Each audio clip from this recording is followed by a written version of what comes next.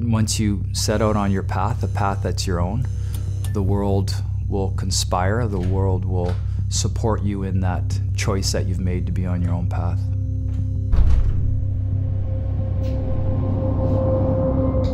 For me, the ocean has been my greatest teacher. It's a place where I get an opportunity to connect to something much larger than myself. And so every time that I go out onto the ocean, I'm learning about myself and I'm growing. I'm proud to be from Northern Ontario and I come from a family of teachers. And so as the firstborn, that seemed to be the natural path that was laid out for me.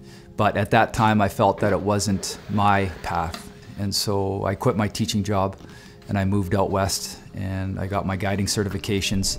And then within a year, I found myself hired in the Great Bear Rainforest.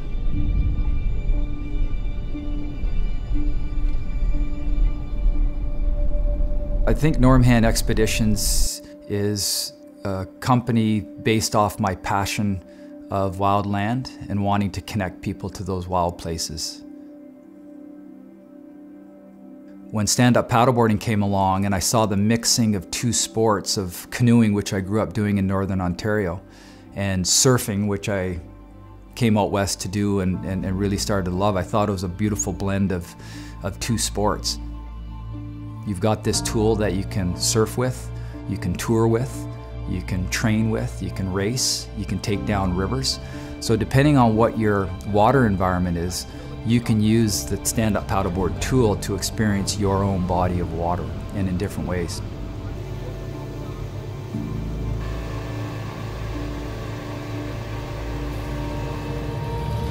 You know, with my son Kiel, I'm able to share with him the values that I have and try and have him lead a life that, that he really enjoys, a, a life of freedom, a life of connection, a life of understanding about the trees and about the mountains and about the ocean and about respect for the wildlife.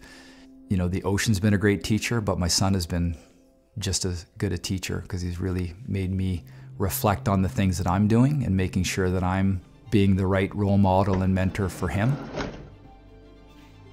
I think we're right at this moment we, where we are experiencing a paradigm shift in how we view the connection to the land, but also how we view ourselves within that bigger picture of the ecosystem. And I remember David Suzuki always saying there's no healthy economy without a healthy ecosystem.